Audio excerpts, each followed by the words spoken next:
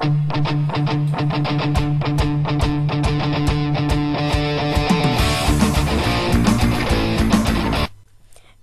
this is Oliver Sun 123 and today I'm going to be showing you some more redstone contraptions that I found on YouTube.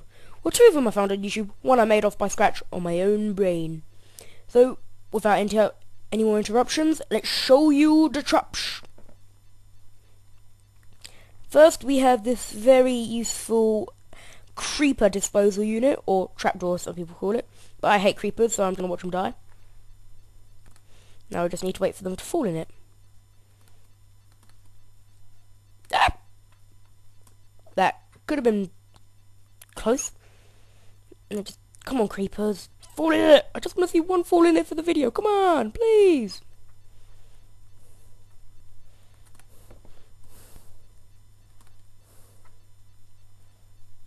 Come on.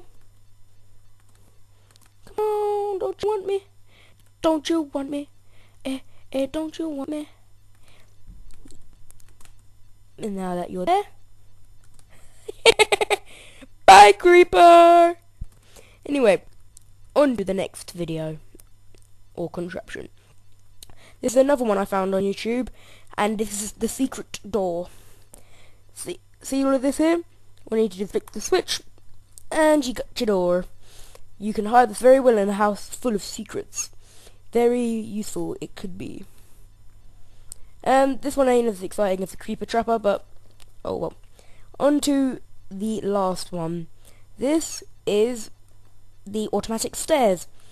You've had a hard day of being an adventurer on Minecraft. You just want to go up to your bed.